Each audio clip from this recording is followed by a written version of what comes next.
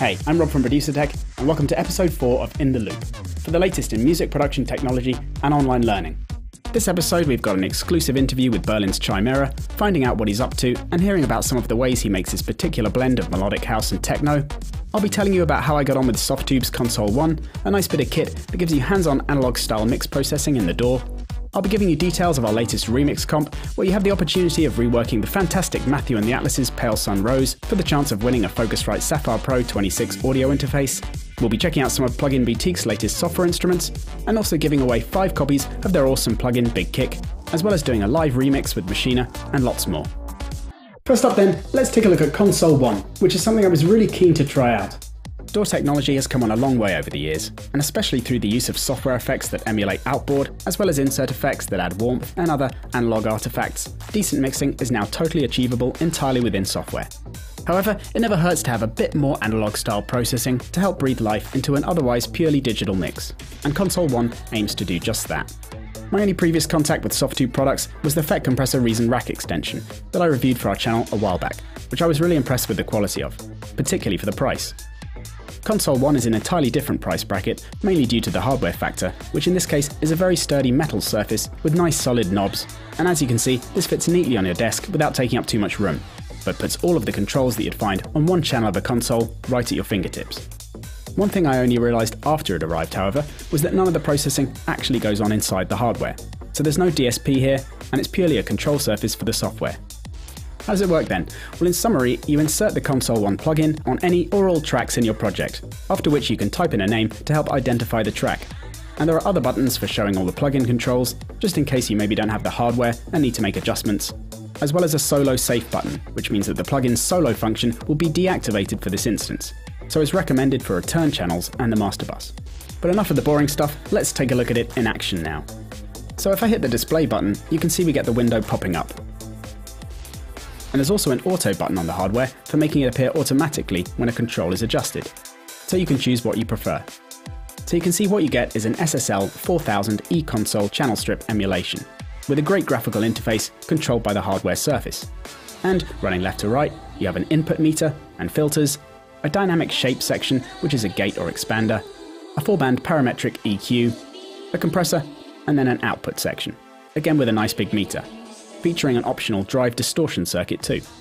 So let's have a listen to it in action. So I've got a very simple live set here with only three tracks in, and I've added console 1 to all of them, as well as the return tracks and the master. Now I'll open up the console 1 window. So you can see the tracks in my set running along the bottom here, and I've got the master and return tracks right at the end, which you can set up by clicking on the number in the plugin window and then pressing the track button on the hardware you want to move that plugin to so it allows you to configure the setup yourself and keep things easy to find. I can choose the track I want to process using the corresponding track buttons. Starting with the drums then, I'll solo them first. And now I'll turn off the processing, so you can hear each section one by one. So at the start there are the filters,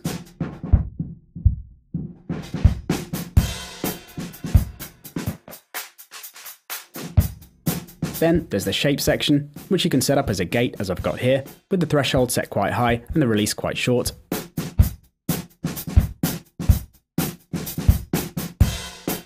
To make it more extreme, I can hit the hard gate switch, which gives you nice tight control over the dynamics. But what I like even more about this section is the transient shaper, which allows you to boost the initial transient with the punch control the rest of the envelope with the sustain control, which is great for making the drums fatter as an alternative to using the compressor.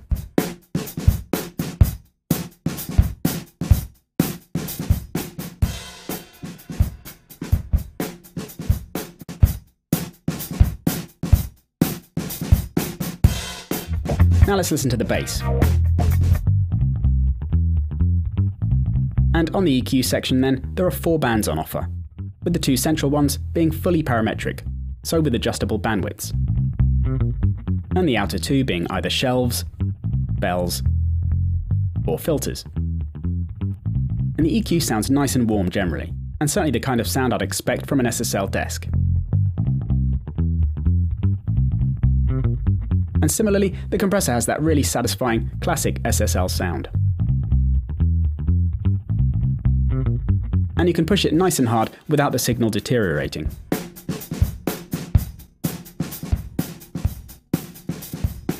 Plus, you've got a parallel control, which allows you to blend the dry and wet signals for mixing the compressed and uncompressed sounds together.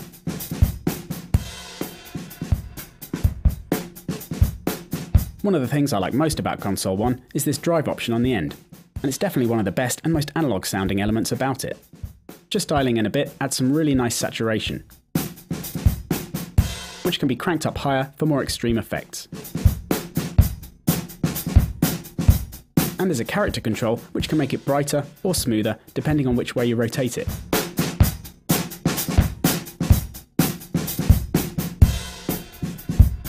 As with other saturators, this driver mount has a compression style effect, and basically limits at high values. So together with the transient shaper, you can create some really sweet effects.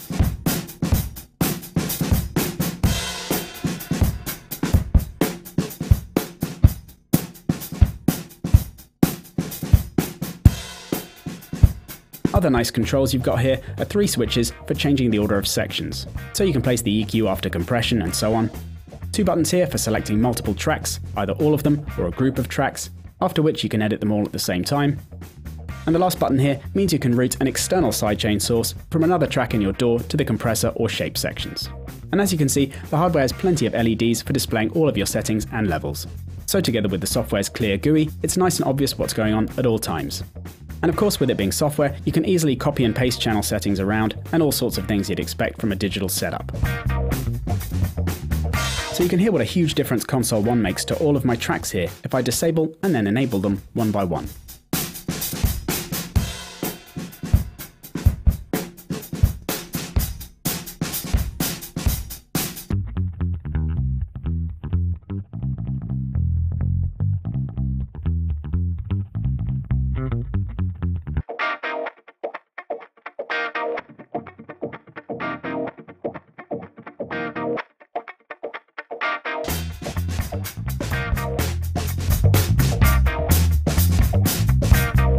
And on the master, I'm also adding some of the drive feature, with the character control brought down, which is really nice on the master bus, as it makes the distortion softer and less obvious, and smooths out the sound.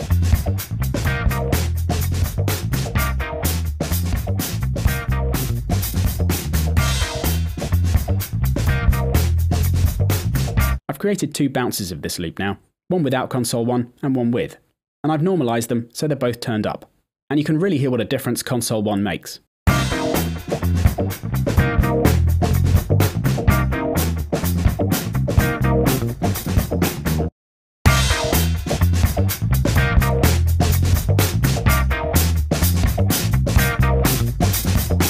So I'm massively looking forward to hearing the difference it can make on my actual mixes, with more digital elements in. I'll be using it shortly to mix two Anarchy Rice tracks I'm currently working on for Kind Crime Recordings, so keep an ear out for them to hear the results, which will probably lead to me going into hiding so I don't have to give this demo unit back. Anyway, I've had some great fun with Console 1, so if you're looking for some quality analog sounding effects with sweet hands on control in your DAW, then it will definitely deliver.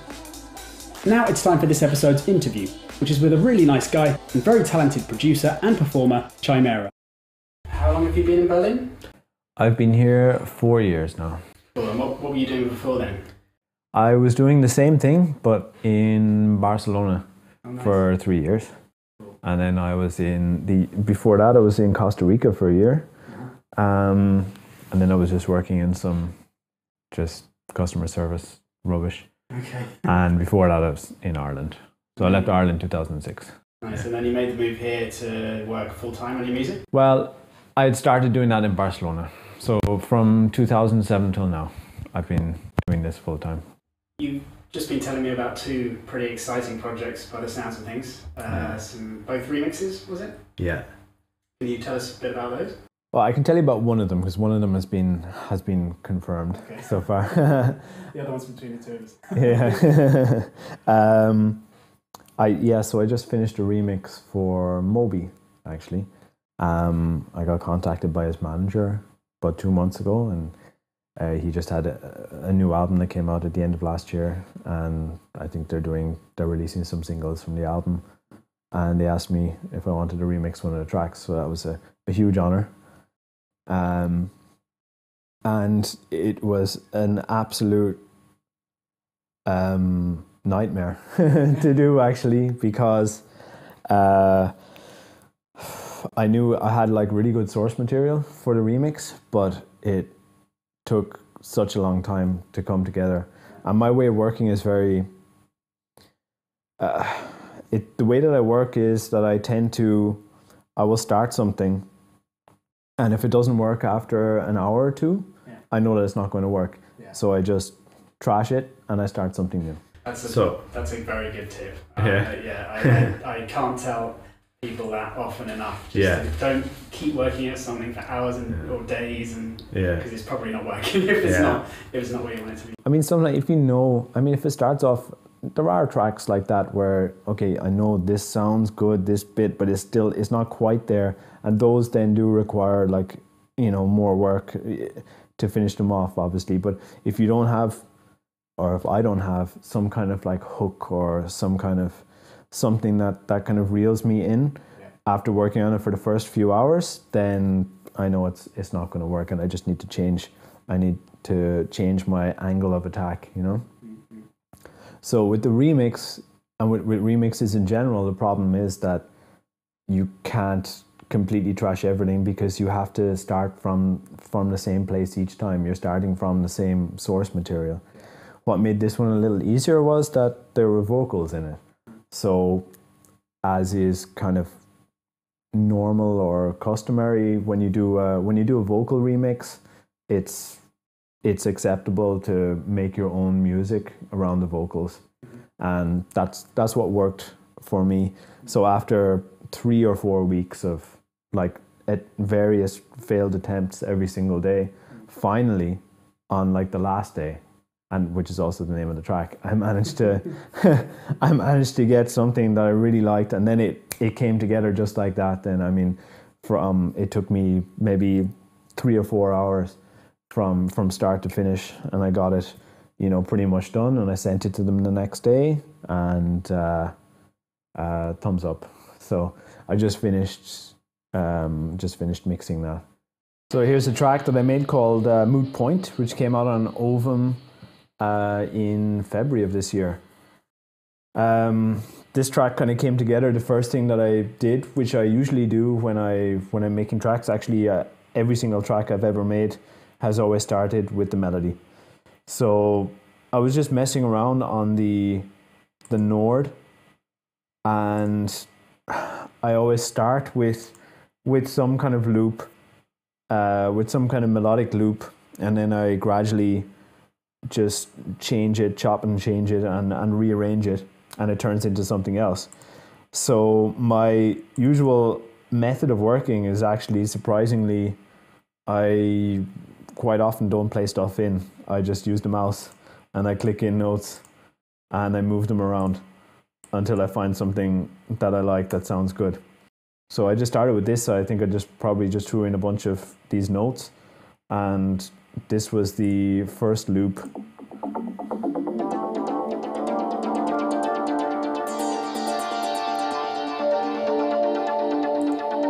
And then I copied it.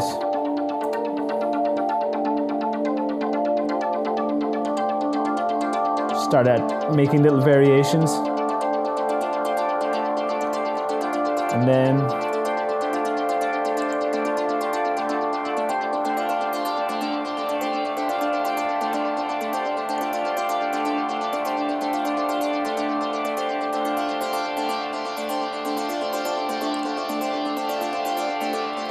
shorten the loop.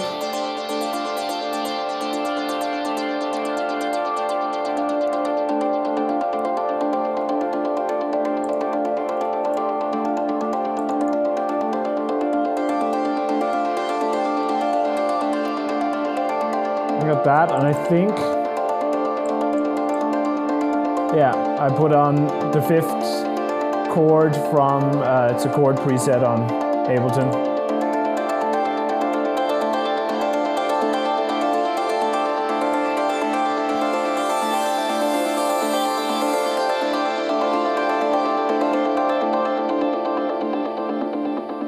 And that was it. Then I ended up with that, which is the main kind of melodic loop going through the entire track. And I basically built everything then around it. I added in the Moog bass line, again, always with the Moog, which uh, sounds like this.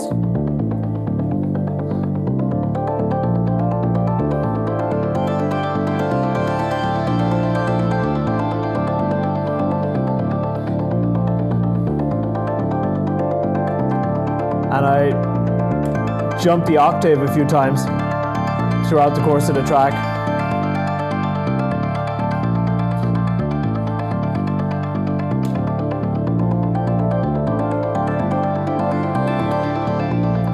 Which is something I do quite often with, with any of my synths that have the option to, to jump the octave. I always like the, the kind of change in, in tone that it, that it gives.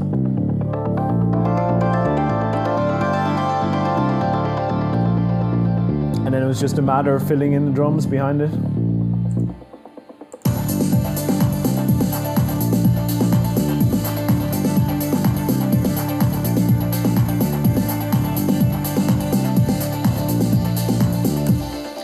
Drums kind of turned out quite old school. I went, I just had the feeling that it just felt quite, it needed those like snappy 909 uh, snares and claps to kind of really bring it to life. Um, and that was that was basically how there isn't really a huge amount more in the track. Um, I put in some just some textures and stuff, and some some extra melodies using the Korg Poly6, which is one of my favorite VSTs. And I, did, I used it again here. I did. Just added in some chords with all these sounds, which are like the secondary sounds in a track, quite often those kind of come just kind of pop into my head. So I'm listening to the to the main melodic loop um, of the track, whatever that happens to be. In this case, it's just a simple synth motif, and I just I hear extra melodies on top of it, um, and then I just quickly open up a VST or another synth, and I very quickly sketch out those melodies what I'm hearing in my in my head, and I add them in to complement the track. If you haven't heard it yet, make sure you check out the very cool, totally improvised 12 minute long jam that Chymera did for our YouTube channel. Now though, time for some very different live electronic music, with a rework I did on Maschine of a fairly well known track that you might have heard one or two times of late. So first, we'll create a beat with Group A which is a drum kit with different drums on each pad. So I'll create a new pattern, which will be two bars long, and then record something in.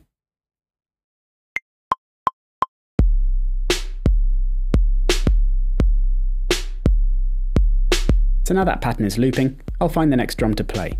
And this time I'll use the note repeat feature, which plays rolls of notes of whatever speed I choose.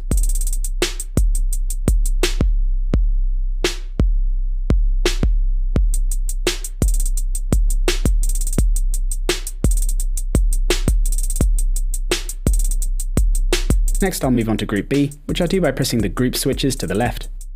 And you can see the pad colour changes to make it obvious which group I'm now playing. And now the pads are set to keyboard mode, so are being used to play a sound in a similar way to a MIDI keyboard. So now I'll create a pattern for this group and make it 4 bars long this time, and record in a melodic phrase.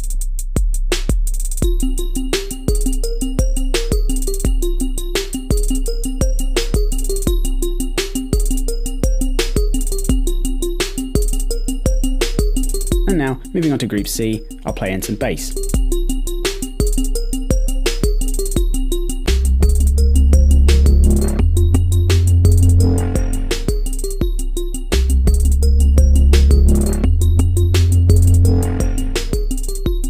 So I'll create a 4 bar phrase for that too.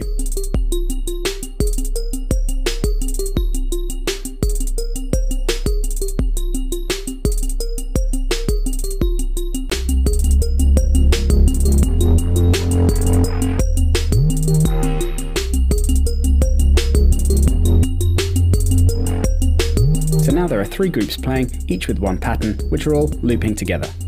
But now I want to create a new section of the song, So I need to use Maschine's Scenes feature, which allows you to combine different patterns from each group in order to create an arrangement. So what I need to do is create a new scene, and then add my beat pattern to it. And now I'll switch to group D and record in a new part, which is going to be a piano this time. And you can see how chords can be played with the pads as well as single melodic lines.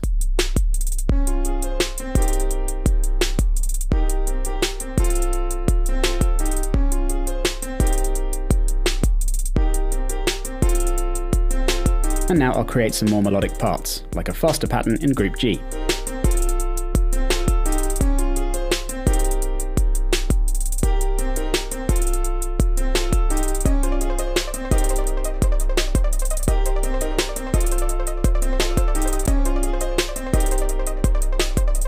and a simple strings part in group E.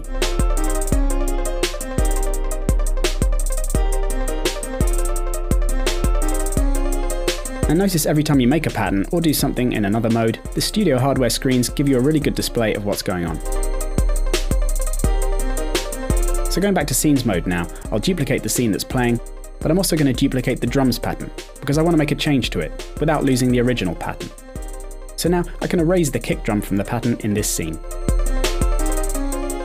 And now to jump back to our first scene with the full drums pattern, bass and so on, I just select that scene, after which it will start playing it when this one finishes and I'm also going to add the fast pattern in group G to it.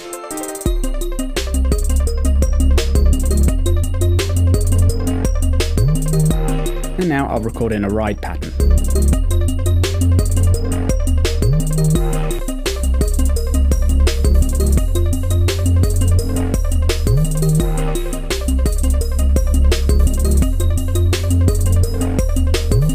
Now let's go back to our breakdown scene, and I'll show you the pads in one of their other modes which is where they play back slices of a sample.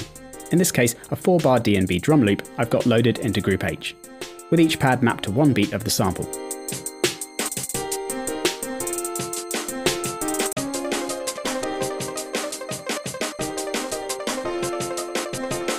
So you can play the pads consecutively to recreate the sample, or play them in a different order to rearrange it.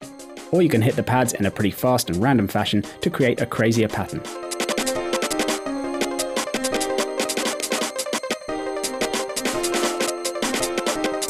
So I'll try recording in a 4 bar pattern now.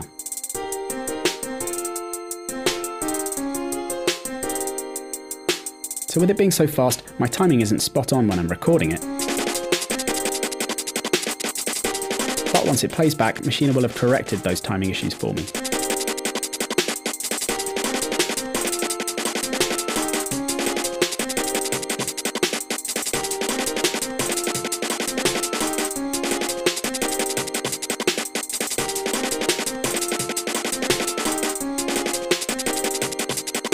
But I'll mute that for now, and then play the sample in group F, which was the basis for the whole remix.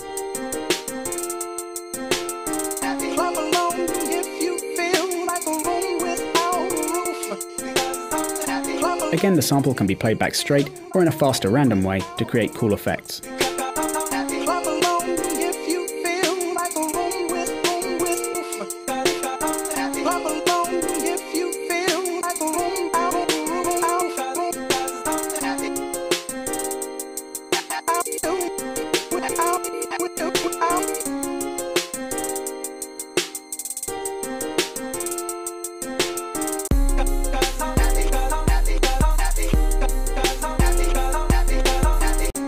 Duplicate the scene once again because I'm going to create a main drop section with our new sounds in, which I'll do by first muting the drums group, then groups B and C, which have nothing in right now, but I'll then add our first main groove patterns to those groups, which we won't hear because they're muted.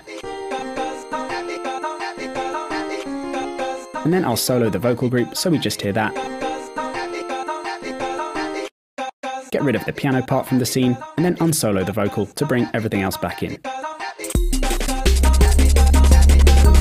So now if we want to jump between each of our scenes much faster than we have been up till now, we can change the timing from a whole scene to a much smaller amount, and then select different scenes by hitting the pads to create some awesome variation and a live mashup effect in our main groove.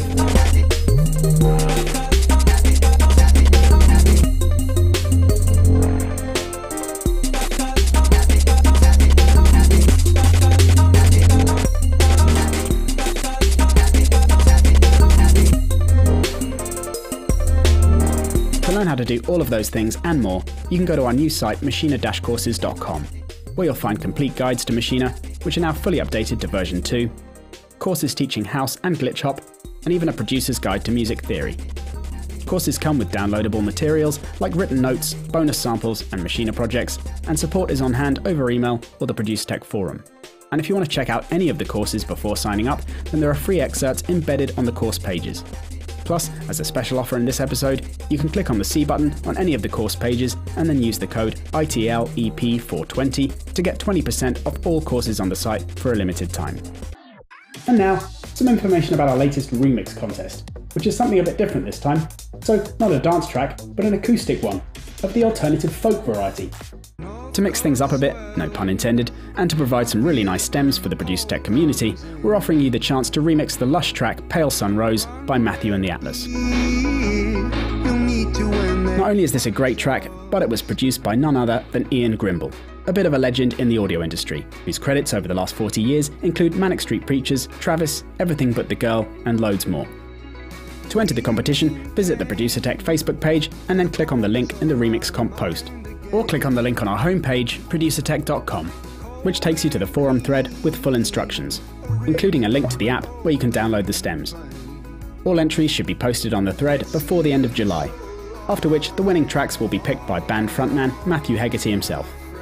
First prize is a Focusrite Saffire Pro 26 audio interface, 5 Loopmasters sample packs, and 2 Producertech courses, and a feature in the Communion Records newsletter. And three runners up all get a course and sample pack too. So some great stems to work with there, which I encourage you all to try having a go at. And best of luck to everyone who enters. Now let's look at some tasty plugins which have recently become available on the Plugin Boutique website. For any of you that don't know Plugin Boutique yet, it's a one-stop shop for all your plugins, with all the best manufacturers in one place. You can watch videos, read reviews, download demo trials, and everything is rated by customers. There's also loads of free plugins to download, and with every plugin you purchase, you get virtual cash that earns you discount off your next purchase. And you have an account where you can store all of your downloads, along with their licenses and serials. So in other words, it's awesome. Plus, they've now started bringing out their own plugins. The first one is BigKick, which put simply is a must-have for any producer. It allows you to craft your own huge kicks through a combination of sample and synthesis techniques. In a nutshell, you combine an attack section, which is the kick sample, that adds the main unique character element and punchy initial hit of the drum, with a body section that provides a totally customizable low frequency tone, which can be shaped and tuned any way you want. Then you can mix and process these two elements with a load of extra features to further fatten or clean the sound up. The next plugin is Sampler, which is a simple sampler plugin that comes with heaps of samples from the extensive Loopmasters library, including main room and EDM drums and dance production sound banks. So it can work in any combination of single or multi-sample modes, after which samples can be processed by various modulators like the three LFOs and envelopes, as well as a nice little effects section. You can find my lengthier guides to both of these plugins on the Plugin Boutique site. Sampler is actually a free plugin, so you can just head on over to pluginboutique.com to download that but we've been kindly provided with five copies of BigKick to give away. So here's details of how you can get your hands on one of those. To show you what BigKick can do and give you some more free stuff in appreciation of your support, you can visit our SoundCloud page to listen to and download a bank of free tuned kicks, which are a gift from Producertech, that you can get hold of as presets, which you can load up in BigKick, or just in audio format. Before the next episode, we'll select five followers of the Producertech SoundCloud page at random to win a copy of BigKick, so just hit that follow button to enter the competition. And lastly, well done to Elliot Short, who won the competition from our last episode by correctly answering the question about Focusrite owner Phil Dudderidge, who was the former live soundman for the legendary Led Zeppelin. So that's it for this episode. Tune in next time for more tutorials, reviews, interviews, competitions, and other audio related bananas. This has been In the Loop from Producertech. Thanks for watching, and see you next time.